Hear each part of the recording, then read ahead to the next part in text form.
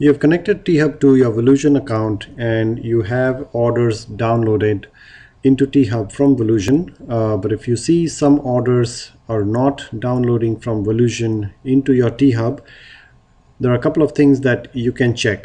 Um, first, you go into T-Hub and in your store settings under web stores, my web stores, and then edit stores, come to your Volusion store and check this order download filter and see if this is empty or it has some uh, string uh, value in this order download filter. Uh, go to the end of the order download filter and see what is the status filter. Uh, here the value is processing. Um, so in T-Hub it is defined here that you want to download orders which are in the processing status. Now, if this is your setting uh, where the order download filter is filled in and it has a value, let's say processing, then go to your Volusion uh, admin uh, page and go under orders, process orders, and make sure that the order status on Volusion is also called processing. If uh, the order status on Volusion is not processing and in T-Hub you have set up the order download filter to request orders from the processing status, then those orders would not download into T-Hub.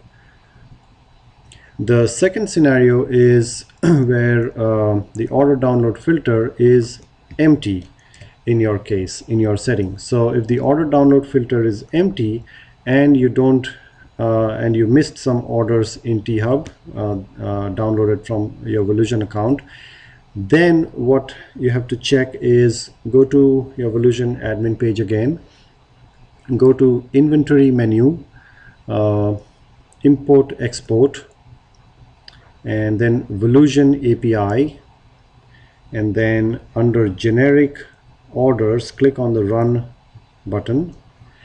Here you will see reset generic orders drop down and in the drop down there'll be several uh, date time uh, list. These are batches that Volusion creates to send orders into T-Hub. Now if you click on one of these batches it will tell you what order numbers are in that batch. Uh, so if I select this uh, this batch here on the right hand side it is telling me that this batch has order numbers 5 6 and 7 so if let's say in T-Hub I missed downloading the order number 6 then what I can do is on this uh, page I can select the batch that includes that order number 6 and then click on reset export. What this will do is it will tell Volusion to reset the download status for those orders. And then when T-Hub requests a download those orders will come down into T-Hub again. So you will get orders those missing orders into T-Hub.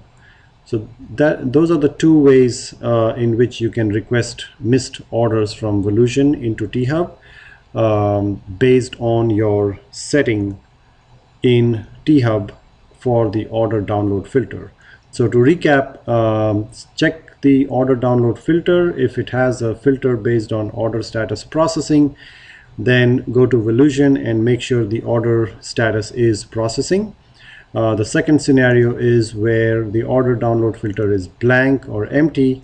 Then you have to find the batch on Volusion uh, which has the um, uh, under API uh, which has that order number uh, you can reset that batch and then uh, you can download the orders again into T-Hub. So hope that helps uh, uh isolating issues with Volusion API when some orders are dropped by Volusion uh, from sending to T-Hub.